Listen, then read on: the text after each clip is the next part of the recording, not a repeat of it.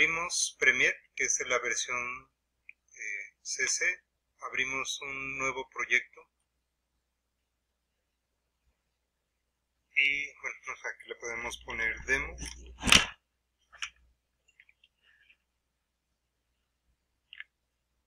Lo va a guardar por defecto todos los archivos en esa carpeta. Le vamos a poner ok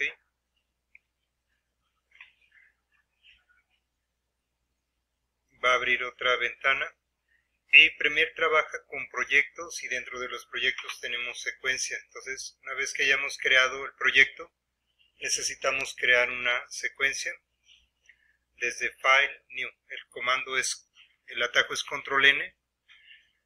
Eh, vamos a esperar aquí que respondan.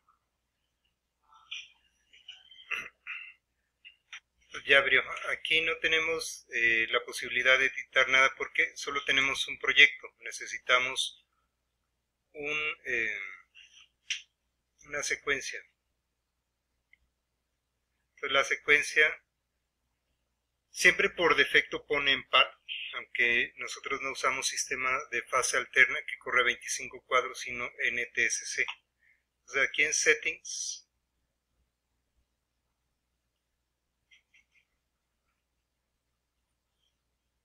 bueno, abrimos esta, le vamos a poner, esta se refiere, a la frecuencia de muestreo de audio. Nos vamos en Settings, y de aquí podemos cambiar algunas cosas. Por ejemplo en custom nosotros le podemos poner la información que queremos 960 por 540 eh, podemos dejarlo que corra en 24 cuadros por segundo el audio en 48 la frecuencia de muestreo. Y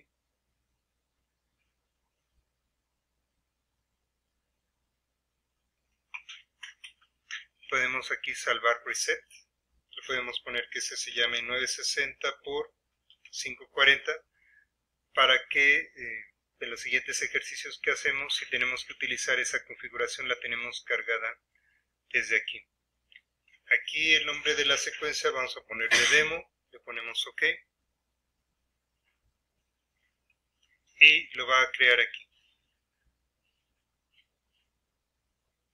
Entonces se van a activar de este lado en la línea de tiempo dos capas. Esto está configurado por pestañas, entonces está muy lento esto.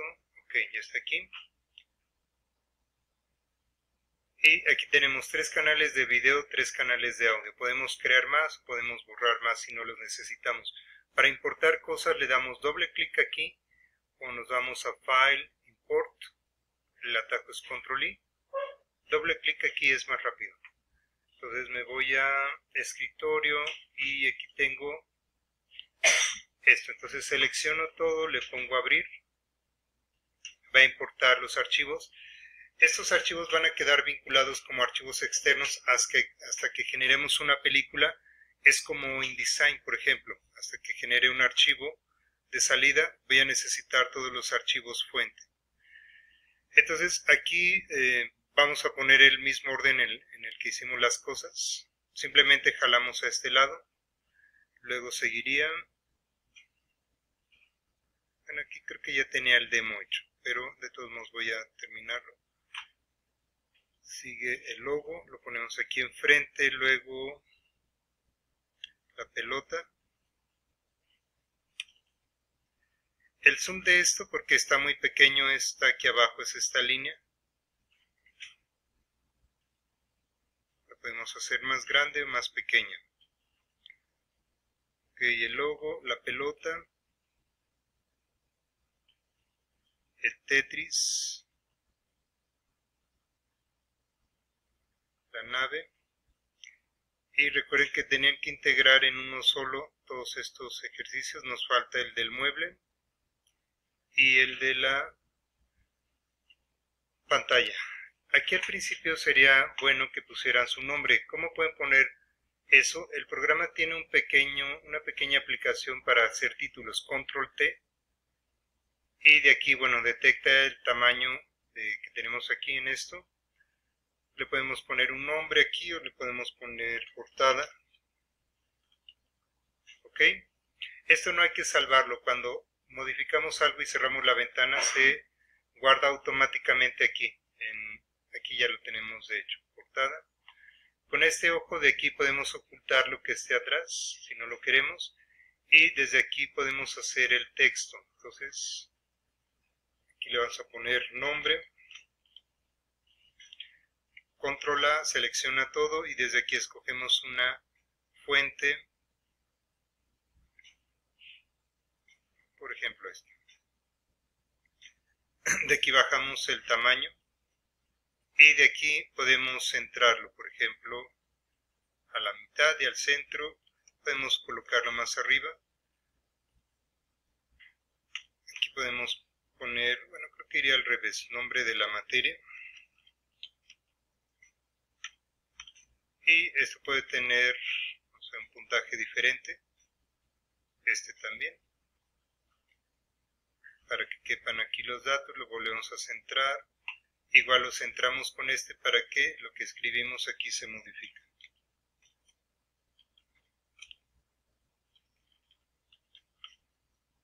Y aquí el nombre. Cuando ya terminamos, como les dije, solo cerramos esta ventana y entonces esto quiero ponerlo aquí. ¿Cómo lo hago? Selecciono todo, simplemente arrastro el cursor encima y lo jalo hacia la derecha, traigo este y lo pongo aquí eh, me hace falta más espacio justo para que no borre, no vaya a sobreescribir la información de esto. Esto dura por defecto como 5 segundos. Si es demasiado, como le cambio el tiempo? Doy un clic aquí, luego botón derecho y aquí donde dice duración, velocidad, voy a cambiarlo a, podemos dejarle unos dos segundos.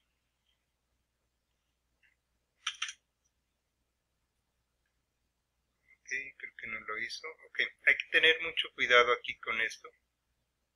De borrar solo uno de los números. Esto representa la hora, esto los minutos, los segundos y esto los frames.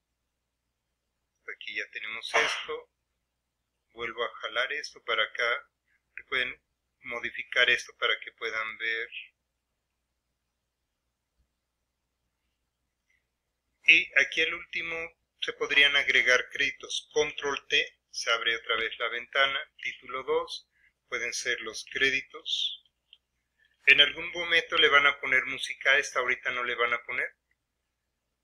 Para poner texto que se mueva se usa con esta opción de aquí. Eh, no queremos que sea fijo, sino que se mueva.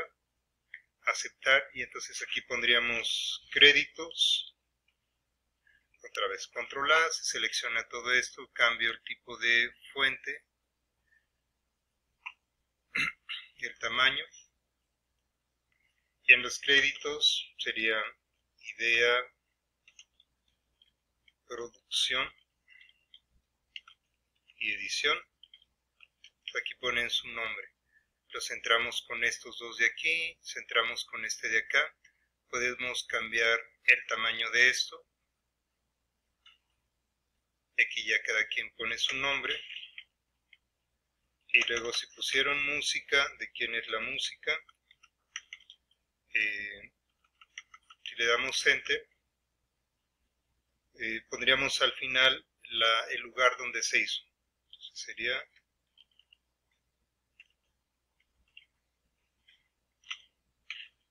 México DF.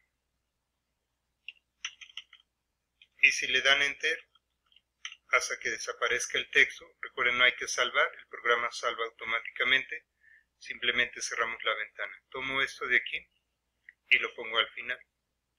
Lo que veríamos es esto. Después del último ejercicio. ¿Cómo sacamos esto? Control M es el atajo para hacer la película o nos damos aquí en export media, control M. Y de aquí vamos a ver, eh, nosotros de preferencia usaríamos QuickTime, pero si no está instalado correctamente nos va a marcar un problema. Entonces vamos a dejarlo ahorita así, exportar audio video. El codec que usamos es el H264. Si no está instalado QuickTime, pues no lo vamos a ver aquí. podríamos usar eh, este que tiene aquí o animation. Vamos a usar este de aquí. 100% eh, la calidad.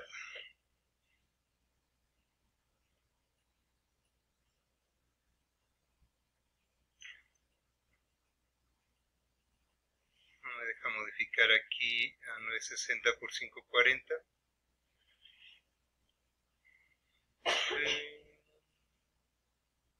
Si le ponemos export lo va a exportar, si le ponemos kep lo va a enviar al encoder, que es otra aplicación. Entonces le ponemos export.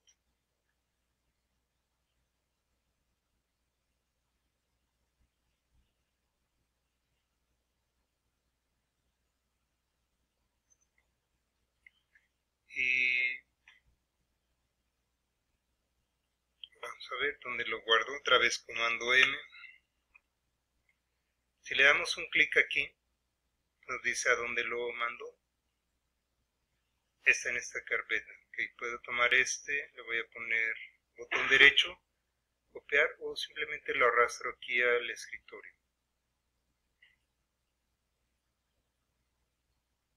Entonces,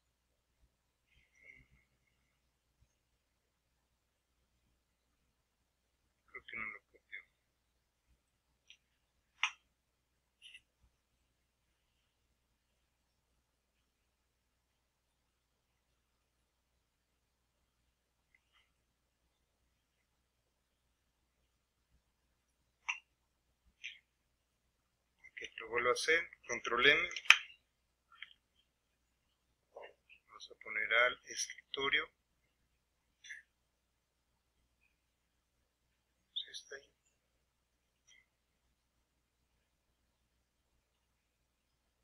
A ver si apretamos la D,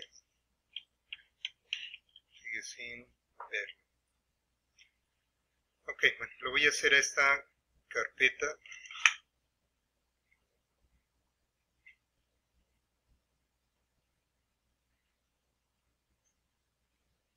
y lo vamos a ver aquí. Si nos marcó algún error cuando queremos abrirlo, vamos a ver qué tamaño tiene. 86 megas. Esto deberíamos de comprimirlo todavía con el QuickTime Pro para que pese todavía menos. Ok, no lo va a abrir. Entonces lo vamos a sacar como AVI.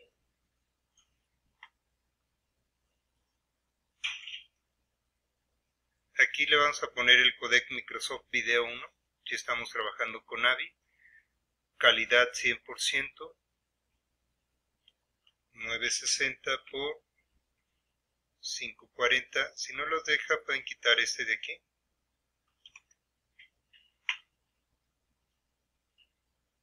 ...24... ...y export... Vamos a ver ahorita que lo comprima cuánto pesa. Y a veces se le puede bajar un poco el peso eh, con la calidad de compresión.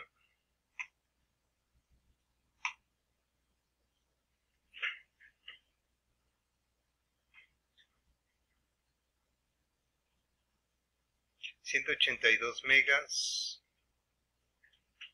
...contra 87 por eso es que usamos move.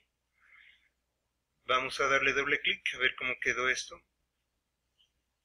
Igual en las imágenes, por ejemplo esta de la cocina, tendrían que hacer lo mismo, darle botón derecho en duración y le ponen otra vez nada más dos segundos, que también va a hacer que esto pues pese menos.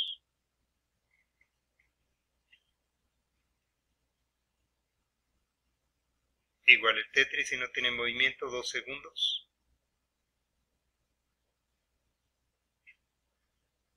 Y ya está. A esto en vez de demo 1 le van a poner su apellido.